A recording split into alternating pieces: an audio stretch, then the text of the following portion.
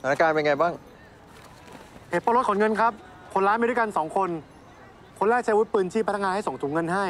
จากนั้นก็ขึ้นมอเตอร์ไซค์ที่คนร้ายอีกคนจอดรออยู่เพื่อหลบหนีไปครับ พวกจ่าไปสอบปากคำชาวบ้านแถวนี้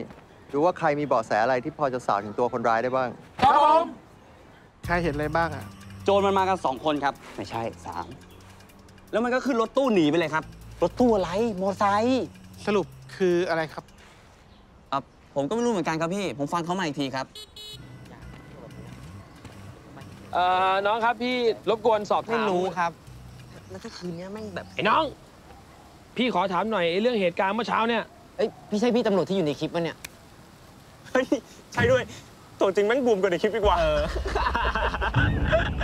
ผมขอถ่ายรูปพี่นิดนึงได้ไหมครับ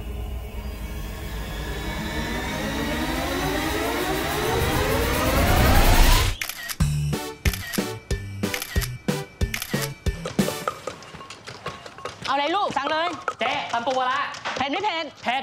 พริกกี่เม็ดเม็ดเดียว เม็ดเดียวมันจะไปเผ็ดไงวะเอาเลยลูกจะถามเรื่องปล้นนะครับปล้นอะไรปล้นรถขนเงินครับป้าเมื่อไหรเมื่อเมื่อเช้าครับ คนร้ายกี่คนสสองครับป้าปล้นไปเท่าไหร่ห้าห้าล้านคขรัอบบใจมากที่ให้ข้อมูล ครับป้าเออเออสี่ที่เหมือนเดิมใช่ไหมครับอ๋อเปล่าเฮีย ผมมาทำคดีเฮียพอจะรู้เรื่องปล้นเมื่อเช้ามาอ๋อผมนี่แหละครับที่ปล้นเองเมื่อเช้านะครับ ผมยังเอา M16 เนี่ย ไปกราดยิงอยู่เลยตัดตัดตัดตัดตัดตัดตัดตัดแล้วต่อด้วยลูกซองครับ ปังปังวันนี้ไม่ตลกเฮีย เห็นว่าเครียดนะครับ หมูกระทะแก้เครียดมาก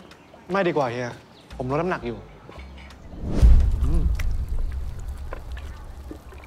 อย่างเนี่ยมึงอะพวกมึงว่าพวกเราลืมอะไรไปบัวะ